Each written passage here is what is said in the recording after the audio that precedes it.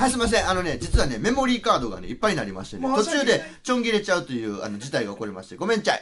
えー、ということで、多分ね、6弦のディミニッシュまでいきます。こんなやつね。一応、念のため、えー、0、0キー、0ルート G でいきますが、この、中指3フレット、6弦。で、えー、2、3、4弦2フレット、人差し指でバー。で、3弦だけ3フレットに薬指。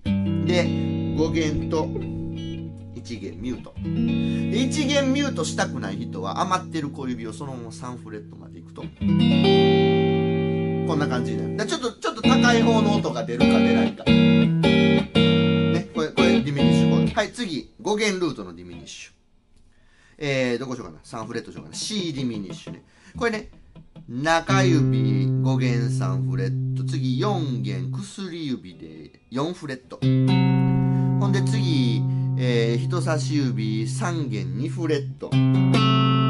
で、最後小指が2弦4フレット。こんな音でございます。で、これ、こんな風に、あの、1弦までバーにして鳴らすこと可能。だから一緒やね。高い方の音が出るか出ないか、みたいなこと。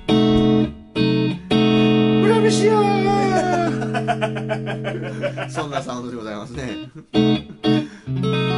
はいはいはい。で、もう一個。今度は、今まで見せなかったんですけど、これどっちかというと考え方としては、1弦ルートというふうに見てください。6弦と同じ考え方、6弦と1弦同じ音やからね。うん、ここから、こんだけの押さえ方ね。これね、前にやったんやったらね、マイナー7フラット5の5弦ルートと同じ押さえ方をこう1個弦下げて。で、これ全部ルート音になんねんけど、多分一番わかりやすいのは1弦が何の音かで見るのがいいと思う。うん。G ディミニッシュ。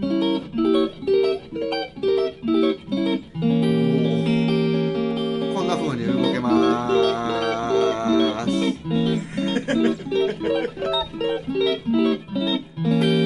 これディミニッシュでございますね。はい。これが代表的なディミニッシュ3種類でございます。